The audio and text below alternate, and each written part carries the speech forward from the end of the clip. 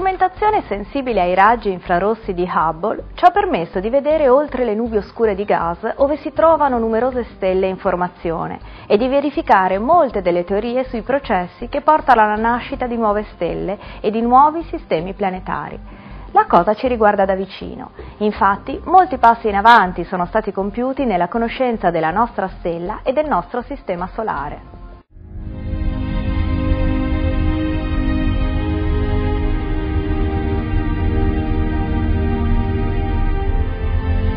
Il nostro sistema solare si è formato circa 4,6 miliardi di anni fa, da una gigantesca nube di gas e polvere che pervadeva lo spazio ora occupato dal Sole, dalla Terra e da tutti gli altri pianeti a noi vicini.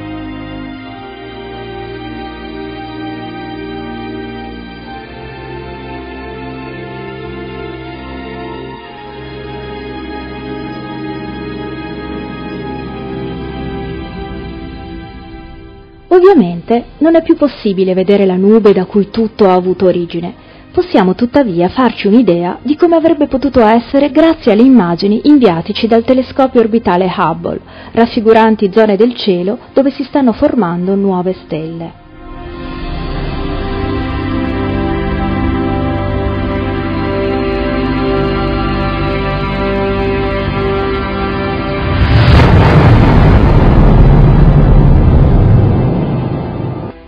Una devastante esplosione nucleare, causata dalla morte di qualche stella a noi vicina, ha dato il via alla formazione del Sole e del suo sistema planetario.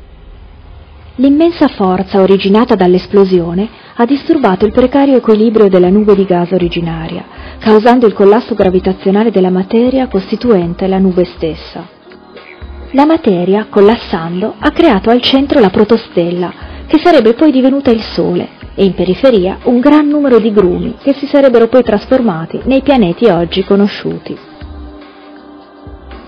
In altri termini, i pianeti si sarebbero formati con quella parte di nube che non è servita al Sole per nascere.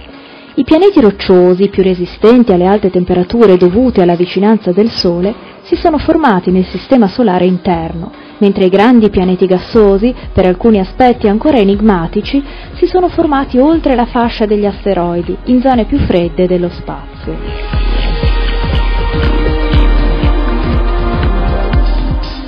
A seguito del continuo collasso gravitazionale, il nucleo del Sole divenne sempre più caldo, fino a quando non si innescarono le reazioni nucleari che ancora oggi mantengono stabile la nostra stella. Il Sistema Solare è nato con i suoi pianeti rocciosi,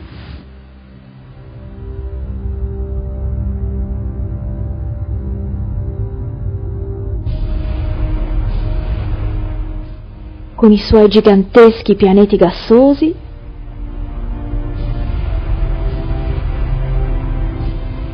e con i mondi ghiacciati dei pianeti lontani.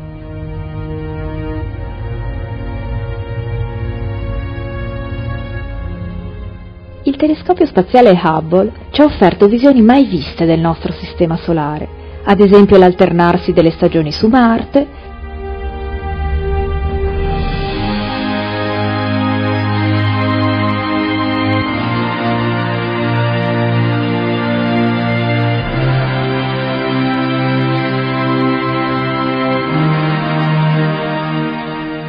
le aurore boreali australi su Giove e su Saturno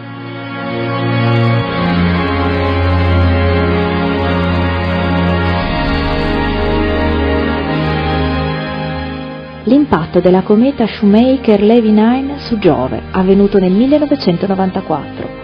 La Terra potrebbe stare comodamente in ciascuna delle ferite causate da queste collisioni.